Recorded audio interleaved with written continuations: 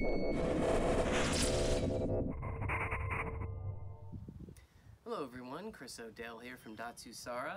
I'm very happy to get to show you one of our newer additions to the family of bags today. Uh, this is going to be the Pure Yoga Bag.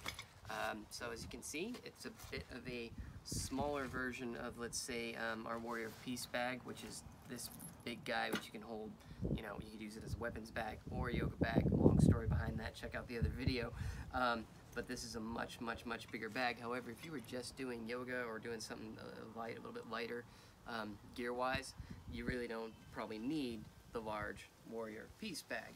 So that's why we made the uh, the pure yoga bag. This is what we're calling it. You could obviously use it for anything you want. That's what we're calling it. Uh, this is made, oh, getting a little dusty out here. This is made out of our, uh, our new blend of fabric, which is actually 30% stronger than our old material. It's a 55% hemp, 45% organic cotton. Uh, it turns out blending the hemp with some organic cotton allowed us to make the weave a little bit tighter, gave it a little bit of flexibility, and somehow when the two work together, every test we've done comes out at least 30% stronger uh, and more durable in general. So I think these things are going to last a much longer time, still be pretty environmentally friendly. Uh, you know, adding the organic cotton in there doesn't change a whole lot except for a little more water usage and depending upon where you live uh, or where you're growing the hemp rather, uh, that may not be such a big problem, which is the case with ours. So anyhow, you got your pure yoga bag here. Um, again, sorry I'm getting a little dirty here just showing you, but you've got a pocket up front here. Uh, and that is, you can put a water bottle in here, our standard, uh, our new standard water bottles, the insulated ones, fit in there just fine with a little bit of room to spare.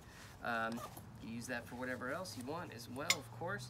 On the back, on the back, we have a couple of flat pockets here. You could probably fit like, you know, like a t-shirt or something. It's kind of thin, thin, light stuff, uh, you know, clothing, which, you know, most people, that's probably what they're wearing in yoga anyway. Or you could, of course, you're wearing something bigger. You could take out your mat, and when you practice, doing your practice, then you uh, put your clothes in the center here. Now, what I've gotten here is uh, a, what is it? its brand is Yoloha, which I highly recommend them. As you can see, it's kind of like a natural cork top. I love this yoga mat. Um, if we ever did any, I'd probably do something like that. Great mats. Anyhow, it is a, uh, let's see, 72 inches by 24 wide. Now, even though the bag itself here is 27 wide, I would say what you want to do is uh, keep your mats to no more than about 24. I mean, I've got a little bit of room, but it starts getting hard to stuff it in there. And with this one, since it's a thicker mat with the cork and everything, I gotta kind of make sure it's compact in there just to get it in this. And works out great that way.